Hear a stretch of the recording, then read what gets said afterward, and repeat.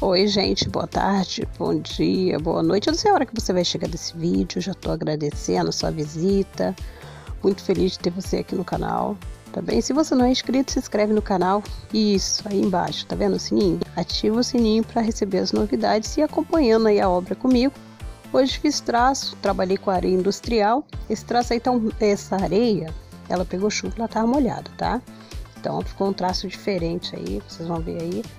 Eu vou traçar e vou usar para reboco, para dar acabamento na porta aqui, nos tijolos aqui. Essa massa, essa areia é muito boa de trabalho. Primeiro, eu não preciso colocar né, nada assim de aditivo nela. Eu coloco somente areia e cimento. As medidas estão aí.